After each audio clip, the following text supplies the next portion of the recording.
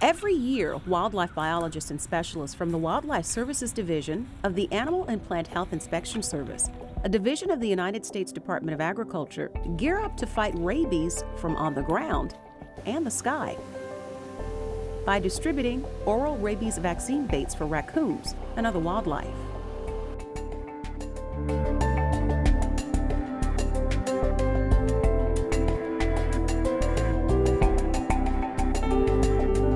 Primary purpose is to stop the further spread of rabies in these targeted areas where we're working in the United States.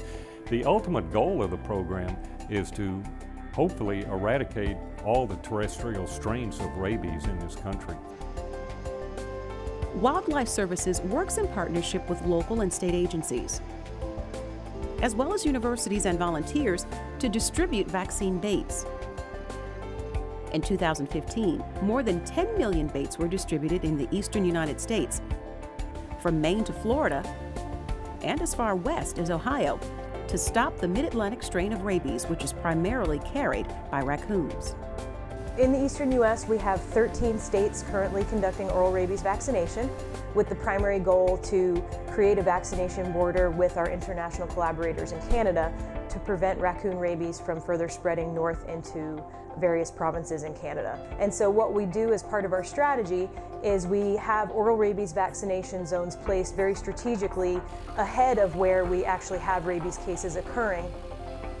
Wildlife Services uses two types of vaccine baits one called Raboral VRG, which is covered in a fish meal to attract raccoons and is dropped from planes and helicopters, or covered in a polymer and distributed by hand. The other is an experimental vaccine, smells like vanilla, and is called ONRAB. In the United States every year, the cost of living with wildlife rabies exceeds $300 million. Most importantly, rabies is essentially 100% fatal. So if a person is exposed to this disease and they don't receive post-exposure treatment, they invariably will pass away from this disease. Centers for Disease Control and Prevention estimate that over 90% of the total rabies cases in the United States is found in wild animals. This was not always the case. Back 50, 60 years ago and beyond that, the number one carrier of rabies in this country was pets, and it was primarily dogs. But over the years, with public education on the need to vaccinate, the number one carrier of these things is wildlife. The typical way that people come into contact with a potentially rabid animal involves their domestic pets.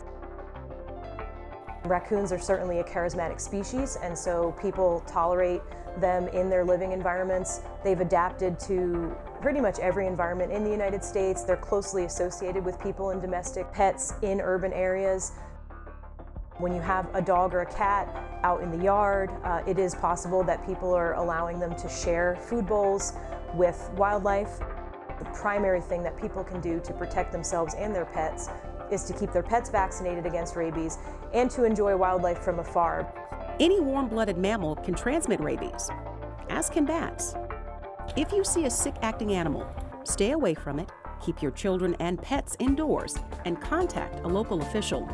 You can call Wildlife Services at 1 866 487 3297, and we can provide help and guidance.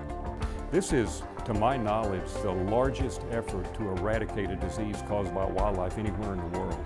It's an enormous effort. It's a goal that will take many years to achieve, but I'm confident working with state and the local and the federal partners in this who all share the, the desire to eradicate rabies that we'll ultimately be successful in this effort. For further information, please log on to